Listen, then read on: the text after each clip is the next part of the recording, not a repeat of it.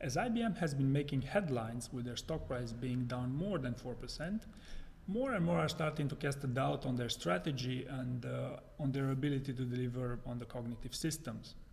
And as I've been studying this trend for quite a few years now, I thought it'd be interesting to give you some insight as to what cognitive analytics really are, as well as how one can benefit from them.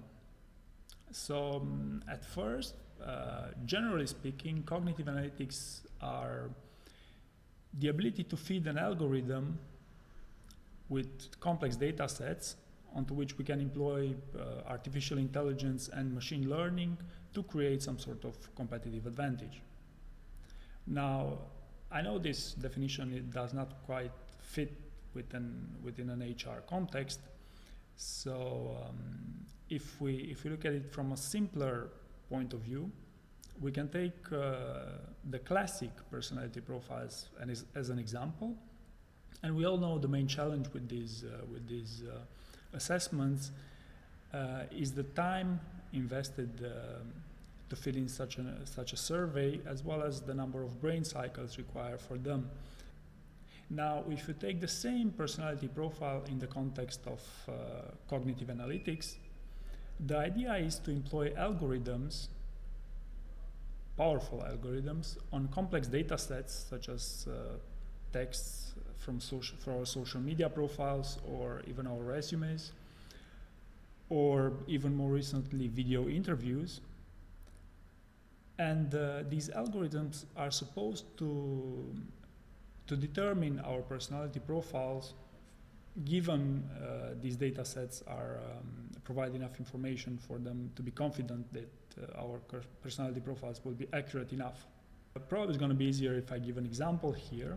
So uh, since I've been earlier mentioning IBM to be a, to be a pioneer in the field, they also provide a free tool to, that allows us to assess our cognitive profile using um, either some text that we enter or uh, I would say it's a lot easier if we use our uh, our Twitter profiles, like I did in my case.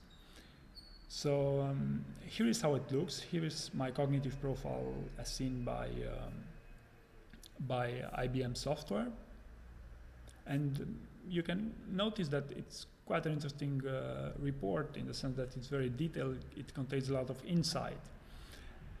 Now, on the not so good side, uh, there are many details in there that uh, I would be very careful about their accuracy. Like, for example, in my in my profile, they say I post more often than not on Wednesday mornings, when in fact I employ a software to do my tweets, or at least I did at that time. So. Um, overall, I believe it's a very interesting topic, uh, cognitive analytics in general, especially in the context of HR analytics and in the context of digital HR in general. However, I believe that the key to understand here is that um, the HR department was not designed to be analytic in the first place. In fact, a survey by Deloitte um, says that 80% of HR professionals score themselves as low in their ability to analyze. So I guess this is one of the main reasons why analytics will be an interesting topic uh, for many years to come. So what do you think? Is IBM too much into fantasy land with cognitive analytics?